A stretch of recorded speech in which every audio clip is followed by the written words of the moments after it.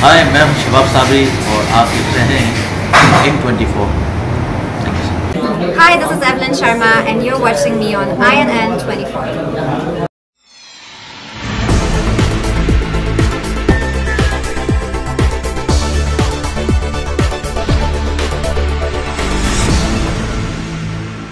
नमस्कार स्वागत है आपका एन एन ट्वेंटी पर। आपके साथ मैं हूँ प्रीति सिंह। बुलेटिन की शुरुआत करते हैं हेडलाइंस के साथ। सुकमा में पुलिस को मिली बड़ी कामयाबी, मुठभेड़ में मार गिराए गए 14 नक्सली, भारी मात्रा में हथियार भी बरामद। और भिलाईगढ़ पुलिस को मिली बड़ी कामयाबी, इको फोर व्हीलर से गांजे की सप्लाई में लगा एक तस्कर, गिरफ़्तार, एक क्विंटल से ज़्यादा गांजा भी जब्त। ज़िले के वनांचल इलाकों में यूँ तो आए दिन हाथियों के आतंक की खबरें मिलती रहती हैं, लेकिन कल रात करीब साढ़े ग्यारह बजे जो कुछ हुआ, वह किसी की भी रूह कपा देगी। कोरबा वन मंडल के फुठामुड़ा में देर रात जंगली हाथियों ने एक वृद्ध और एक बच्चे को पैरों तले कुचल कर मार डाला। दोनों की छत विछत लाश वन मंडल के कर्मियों ने बरामद कर लिया है। मरने वालों में एक मासूम रोहित कुमार और इतवारी बाई शामिल हैं, जबकि दूसरी बुज़ुर्ग महिला है। वनमंडल की ओर से उनके परिजनों को पच्चीस हज़ार रूपए की तत्कालिक सहायता मुहैया कराई गई है। वनमंडल के अधिकारियों के मुताबिक 27 हाथियों का दल इन दिनों जशपुर से फुठामुड़ा बेला के जंगल में डेरा डाले हुए था। इनमें से 10 हाथी दल से अलग हो गए, जिसके बाद इसी दल में सूरजपुर की तरफ़ से आए छह और हाथी शामिल हो गए। इस तरह इनकी संख्या करीब 26 हो गई। कल इसी दल के दो हाथी फुटहा मुड़ा पहुँचे थे। वनमंडल के अधिकारी भी लन्नर हाथी के साथ लगातार हाथियों की ट्रैकिंग कर रहे थे। उन्हें हाथियों के हमले का पूरा आभास। लिहाजा उन्होंने एहतियातन फुटा मुड़ा के आंगनबाड़ी में एक दो परिवारों को ठहराया था। दोनों परिवार पूरे दिन वही थी और फिर रात में खाना खाकर सोने की तैयारी में थे। बताया जा रहा है कि करीब साढ़े ग्यारह बजे दल से भटके सूरजपुर के हाथी आंगनबाड़ी के पास पहुँचे और फिर भवन के शटर को तोड़ने की पुरजोर कोशिश की। शटर में ताला लगने की वजह से वह नहीं टूटा तो हाथियों ने भवन की खिड़की को तोड़ डाला। खिड़की के टूटते ही एक हाथी ने अपना सूढ़ अंदर घुसाया और टटोलने लगा। जिस कमरे की खिड़की तोड़ी गई थी, उसके भीतर चार से पाँच लोग मौजूद थे और सभी सोए हुए थे। तभी हाथी की सूढ़ में एक बच्चा फंस गया और उसने उसे खिड़की से बाहर खींचकर ज़मीन पर पटक दिया। गुस्साए हाथियों का आतंक ऐसा था कि बच्चे को पटकने के बाद उसे अपने पैरों तले कुचल भी दिया, जिससे उसकी मौत हो गई। उसके बाद उस हाथी ने फिर एक बार खिड़की में सूट डाला और इस बार उसके चंगुल में एक बुज़ुर्ग महिला का पैर फंस गया। हाथी ने उसे भी बाहर खींच लिया और ज़मीन पर पटक कर पैरों तले रौन दिया। देर रात हुए इस घटना से पूरे इलाके में सनसनी फैल गई है। हालाँकि आज सुबह जब वन मंडल के कर्मी मौके पर पहुँचे तो उन्होंने शव को बरामद किया और फिर शीर्ष अधिकारियों को पूरी घटना से अवगत कराया। वो दो हाथी जो सूरजपुर से आए वो उनको पहले उसका रेलिंग को तोड़ा को कोशिश किया। जहाँ हम लोग ठहराए हुए थे कम से कम पाँच परिवार को जिसमें पंद्रह लोग करीब थे। तो वो नहीं टूटा ताला लगने के कारण नहीं टूटा। तो उसके बाद दूसरा हाथी पीछे से गया और खिड़की को तोड़ा। खिड़की को तोड़ने के बाद मुंडी डाल के पहले टटोला हो। टटोलने के बाद वो बच्चे को निकाला बच्चे के बाद अब उसकी माँ थी। या ना दादी जो भी रिलेशन में थी, वो चल भागने की कोशिश की तो उसको पकड़ लिया पैर को। फिर उसके बाद वो आवाज़ लगाई। पैर को पकड़ लिया तो खींच लिया उसकी आवाज़ लगाई। फिर हम लोग ये बस यही है। उसी रोड में सब पूरे गाड़ी लंबे से उसी से उसके ट्रेकिंग में लगे हुए थे। तो ये घटना घटी है। कल शाम को जो मंदिर फॉरेस्ट वाला बोला कि हाथी आज यहाँ पास निकलने वाला है। आप लोग घर को खाली कर कर सब आंगनवाड़ी चले जाओ। वहाँ पक्का का घर है उसको कुछ नहीं कर पाएगा वो। तो हम सब मिलकर यहाँ आ गए बाईस उसके बाद इस तरह घूम कर आया। खिड़की को एकदम ज़ोर से धक्का मारा। मेरे सिर पर गिरने वाला था खिड़की। वहाँ से एक बार कूद दिया आगे हम दिया एक लड़का से पाँच साल के बोले पकड़ लिए मोर अम्मा तो भाग गए पीछे। बोले पकड़ लिए तो बोले पहले फेंकी से, ओकर बाद में तो बड़े अम्मा रहे वो भी उठ के भागत रहे उसको ही पकड़ ली। उसको ही फेंक दी बाहर। उसके बाद खाना था जो बर्तन में उसको खाया और चावल तो खाना पकाने के लिए धो रहे थे। वो चावल भी रखा था उसको भी खा दिया। क्या कितने लोग इसमें खत्म हुए हैं? कटघोरा के सांस्कृतिक भवन में छत्तीसगढ़ शासन की स्काई योजना के तहत हितग्राहियों को मोबाइल वितरण किया गया। नगर पालिका के सीएमओ ने बताया कि कुल हितग्राहियों में 1800 मोबाइल वितरित किया जाना है जिसके तहत प्रथम चरण में 680 मोबाइल का वितरण किया जा रहा है। अलग अलग वार्ड की सूची के आधार पर अभी हितग्राहियों को मोबाइल वितरित किया जा रहा है। सांस्कृतिक भवन में बड़ी संख्या में लोग मोबाइल लेने पहुँचे। इस मौके पर नगर पालिका अध्यक्ष, पार्षद एवं एल्डरमैन उपस्थित रहे। संचार क्रांति योजना के अंतर्गत हमारा टारगेट अठारह लोगों को बांटना है। अभी हमको 690 मोबाइल मिले हैं और हमारे पास जियो के रिप्रेजेंटेटिव हैं सात लोग। उस आधार पर आज हम पहले दिन 245 लोगों को बांटेंगे और कंटिन्यू हम लोग टोकन देते जा रहे हैं, लोगों को डिस्ट्रीब्यूट भी करते जा रहे हैं। बहुत खुशी है लोगों में और इसका काफ़ी अच्छा यूज़ करेंगे, बता रहे हैं अपने चहेतों से बात करने के लिए, अपने रिश्तेदारों से बात करने के लिए बहुत अच्छा साधन है। कोरिया ज़िले में छत्तीसगढ़ जनता कांग्रेस जोगी के वरिष्ठ पदाधिकारियों द्वारा एक के बाद एक इस्तीफा दिए जाने का सिलसिला थमने का नाम नहीं। ले रहा है। अभी कुछ दिनों पहले ही पार्टी के जिला अध्यक्ष यवत सिंह ने अपने 500 समर्थकों के साथ इस्तीफा देकर सबको चौंका दिया। तो वहीं जिला पंचायत अध्यक्ष जोगी कांग्रेस की प्रदेश कार्य समिति सदस्य कलावती मरकाम ने भी अपने समर्थकों के साथ इस्तीफा दे दिया।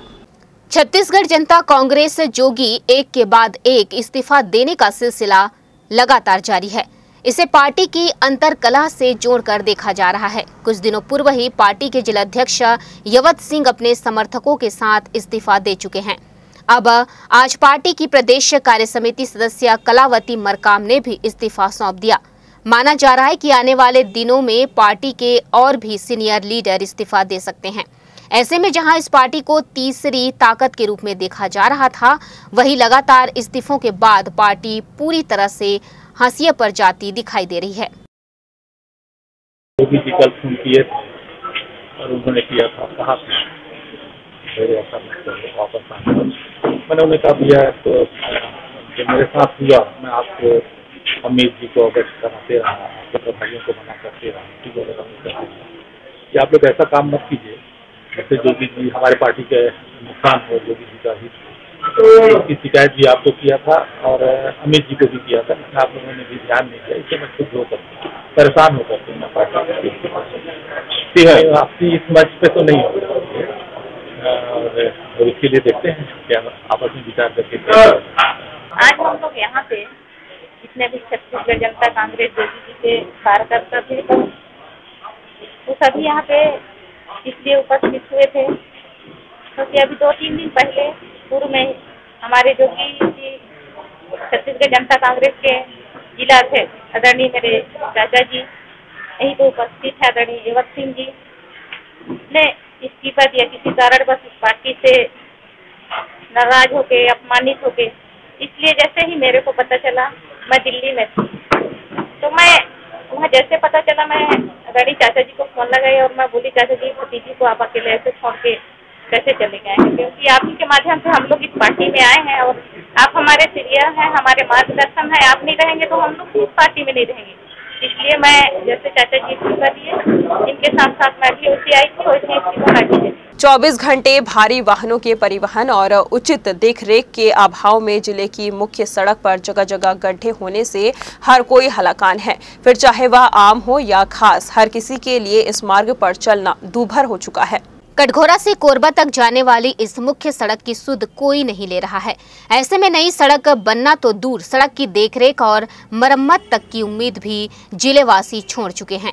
ऐसे में आए दिन घट रहे सड़क हादसों पर देखते हुए उत्तरी क्षेत्र दिल्ली के युवा सामने आए, अपने खर्चे से सड़क की हालत दुरुस्त करने का प्रण लिया, जिसकी बदौलत आज कोरबा से लेकर कोहड़िया और फिर दर्री बाँध तक सड़क पर पसरे गड्ढों को, मिलर मशीन व सामूहिक श्रमदान कर भरा गया। सड़क पर उतरकर सुधार कार्य करने को मजबूर इन युवाओं की माने तो जिम्मेदार विभाग द्वारा कराए जाने वाले कार्य को ना होता देख वे मजबूरी में अपनी खर्चे पर यह कार्य कर रहे हैं। इन युवाओं की माने तो आगामी समय के भीतर अगर जिम्मेदार अमले द्वारा शीघ्र ही सड़क की सूरतें हाल नहीं बदली गई तो वे उग्र से उग्र आंदोलन करने के लिए भी मजबूर हो सकते हैं। इस रोड में काफ़ी दिनों से एक बहुत बड़ा गड्ढा बना हुआ था जिसमें आसपास के क्षेत्र के रहने वालों ने लोगों की जान बचाने के लिए एक बहुत बड़ा ड्रम रख दिया था। तो हम लोग करीब साल भर से उसे देखते हुए आ रहे थे। उसमें आठ दस महीने पहले एक ड्रम था, वो फिर किसी ट्रक की ठोकर से आगे चला गया। फिर उसके बाद एक और ड्रम रखा गया, वो और आगे चला गया। ऐसे टोटल आज तीसरा ड्रम वहाँ पर रखा हुआ था। तो हमारे जितने भी मित्र हैं, हम सबने सोचा था कि हम इस रोड को अगर प्रशासन नहीं बनाती तो अपने खर्चे पे बना देंगे। पर ये हम लोग दो तीन हफ़्ते से टाल रहे थे क्योंकि मुख्यमंत्री आने वाले थे। और नॉर्मली ऐसा होता है कि जब कोई बड़ा मंत्री या कोई आता है तो रोड बन जाती है। बट दुर्भाग्यवश इस बार ऐसा भी नहीं हुआ। तो आज हमने 12 बजे डिसाइड किया कि हम लोग एक मिलर लेके आते हैं और इस काम को सीमेंटेड करके कंप्लीट कर देंगे। तो जैसे ही हम यहाँ पर आए हमने यहाँ पर हमारे दोस्तों से बात की साहू जी वगैरह हैं जो यहाँ पे आ, उन लोगों से बात की तुरंत ही तैयार हो गए हमारे साथ। और उस गड्ढे के बाद अभी आगे भी हमारे साथ चलने के लिए तैयार है। साथ में ए बी की भी पूरी टीम आ गई है अभी ये भी हमारे साथ में है। हम कोशिश करेंगे यहाँ से लेकर गोपालपुर तक के जितने गड्ढे हैं आज भर दें। या विशाल भी हैं बड़े भैया और सब भैया लोग आए हैं इन लोग के सहयोग से गड्ढा पट रहा है। बाकी तो अपन लोग साल भर हो गया अपन लोग जितने लड़के हैं अपने मोहल्ले के सब मिल के अपन लोग कोशिश में ही लगे हैं कि सुधर जाए अपना एरिया जो क्षेत्र है आगे बढ़े। क्या है आए दिन एक्सीडेंट होता है भी हादसा। ये रोड ऐसा है जानलेवा हो गया है। प्रशासन की सूचना दिया था आपने? प्रशासन निगम में दे चुके हैं भी आवेदन दे चुके हैं।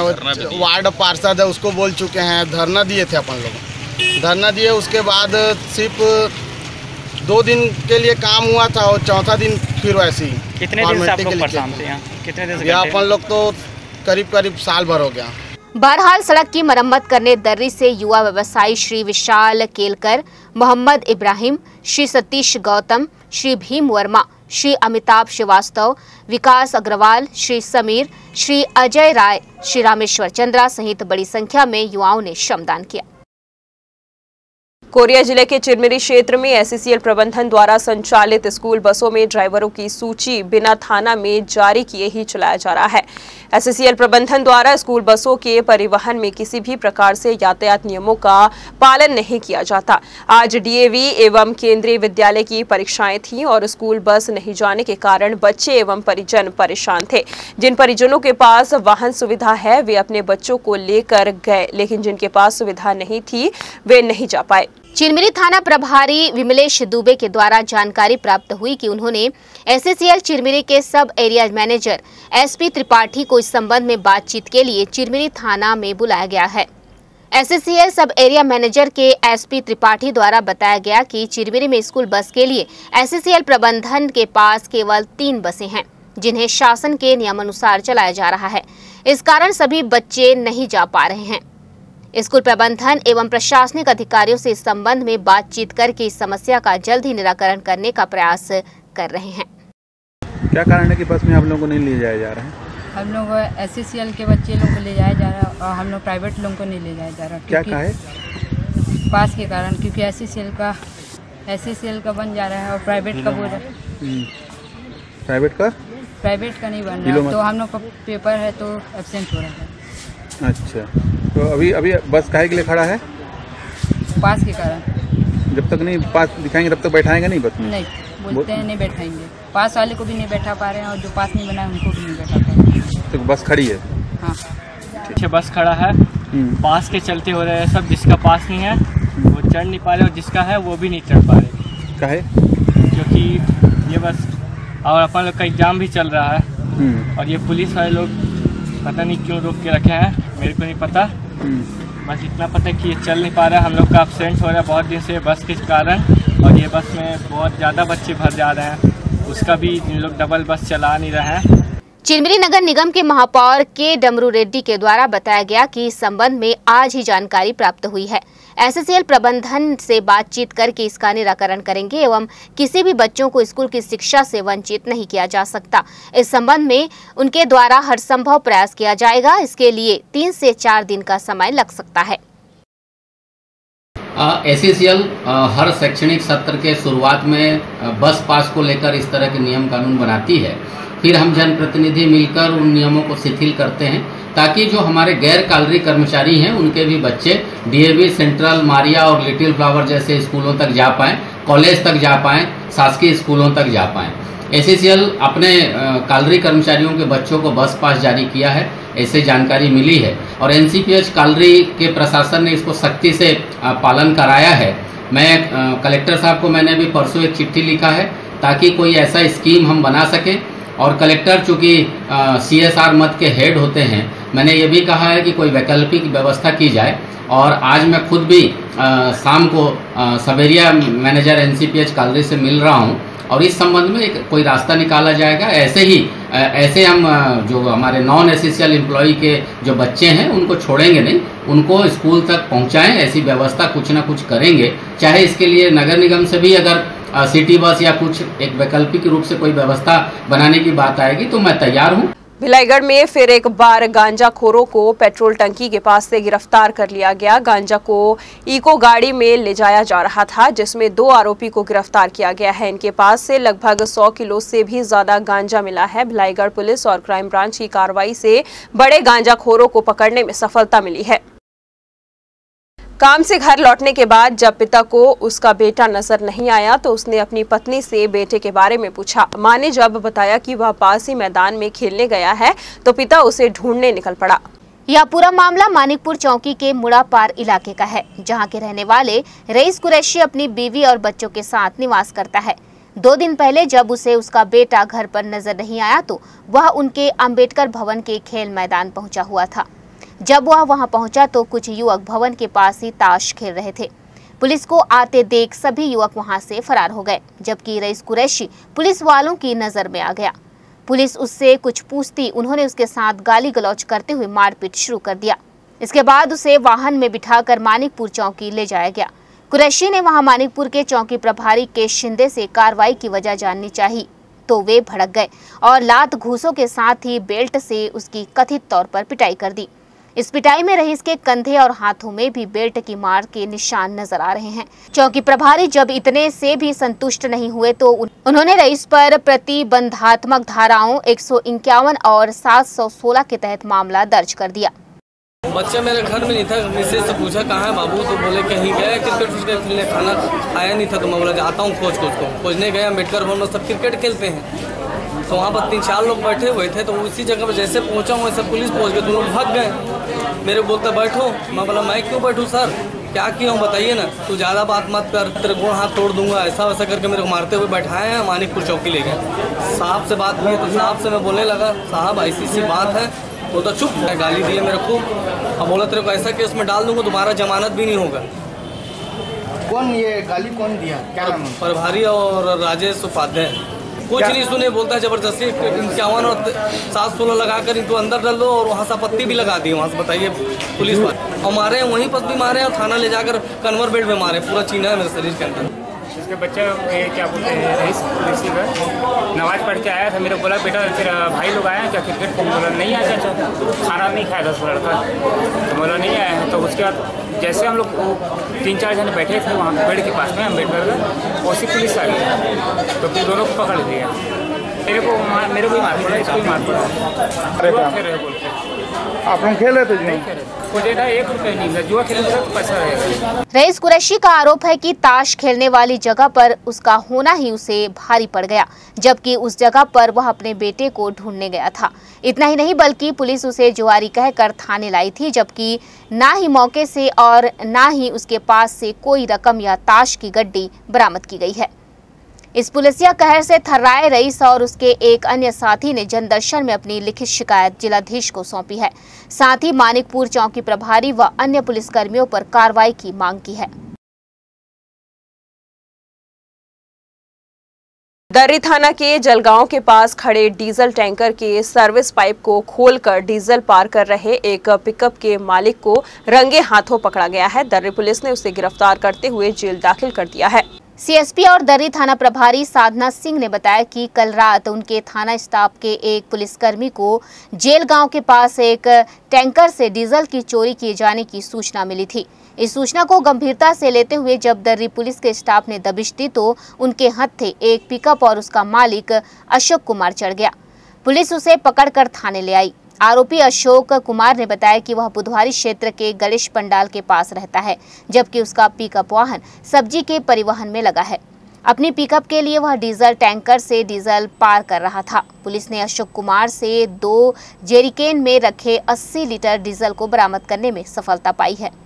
रात्रि गश्त के दौरान चेक गश्त अधिकारी के रूप में हमारे थाने का हवलदार संतोष टांडी तीन सौ अड़तालीस नंबर की थी, उसको सूचना प्राप्त हुई कि एक तो टैंकर जो खड़ी थी जेल गाँव के साइड पे, ड्राइवर अपने घर सोने गया था।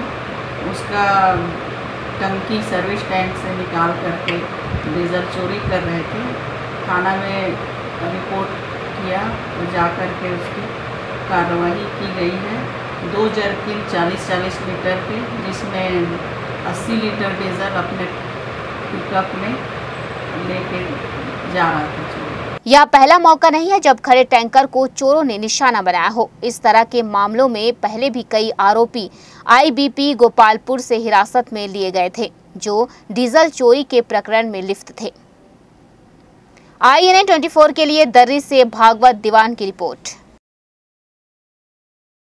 बुलेटिन में फ़िलहाल इतना ही। देश और प्रदेश की तमाम खबरों को जानने के लिए आप बने रहिए आई एन के साथ। आई एन यूट्यूब फेसबुक और ट्विटर पर भी देख सकते हैं। वेब चैनल के लिए लॉगिन करें www.in24news.in नमस्कार।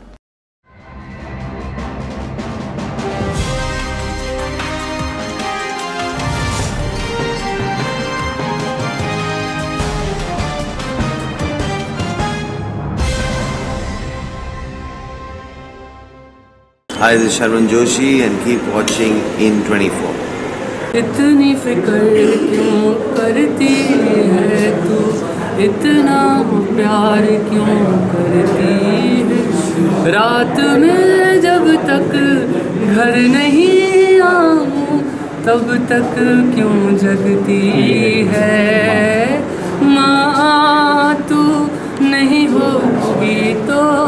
बता मेरी कौन करे परवाह मिले हो तो हमको बड़े नसीबों से, चुराया है मैंने किस्मत की लकीरों से।